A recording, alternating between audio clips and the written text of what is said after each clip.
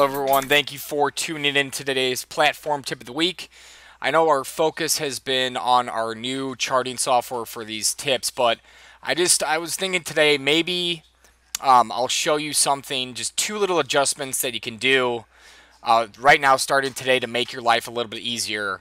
Um, not that many people know that you can actually do this, and I just wanted to show you. And it's focused on the Infinity AT DOM and the quote board. So one thing that I like to adjust is defaulting quick click to always be enabled. And what is quick click, you ask? If you populate a DOM, on the upper left hand corner, there is this checkbox called quick click.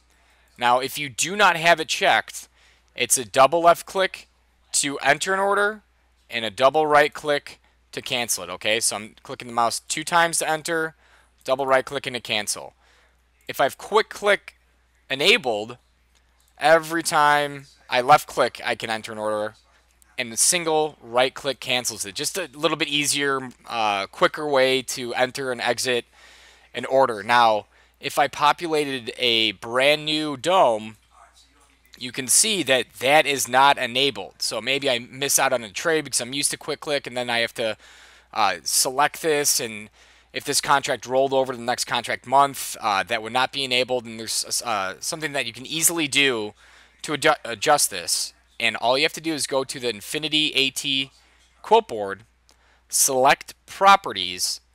And You can see on the right hand side there is a checkbox that's labeled default quick click.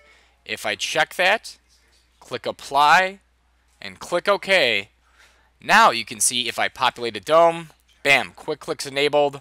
Populate the NASDAQ. It's enabled. And even if these contracts rolled over, this is always going to be enabled. So um, it's just a setting that I prefer. If you prefer quick click, I, you know, I, I highly recommend you adjusting this, okay? Now another thing that you can adjust is setting a default quantity. So here's what I mean by default. So I populate a DOM, I go to enter an order, it says please enter quantity because quantity is set to zero contracts. So I have to click up. Man, I missed out on that trade. Now I can actually get in. Well, you can do something that um, selects a default quantity to always populate for that particular instrument. Now all you have to do is click again on the Infinity AT quote board. On the right hand side, you can see there is default quantity. Now if you double click in that area, you can select the default in this case, I'd like to select one. Let's do it for the NASDAQ 2, and then click outside of the window. Now you can see every time I populate that contract, not only do I have quick click checked, I have default quantity of 1 because in that area I selected one. So if I populate a NASDAQ, it's already set to 1. Just very easy because a lot of times you forgot to, you forget to select the um, number of contracts you'd like to trade, so it's just very convenient and efficient to have a default already preset.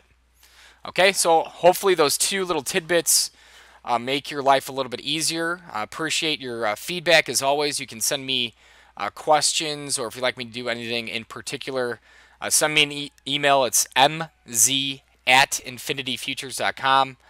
Um, thanks again for coming to today's presentation. Thanks, guys. Have a productive week.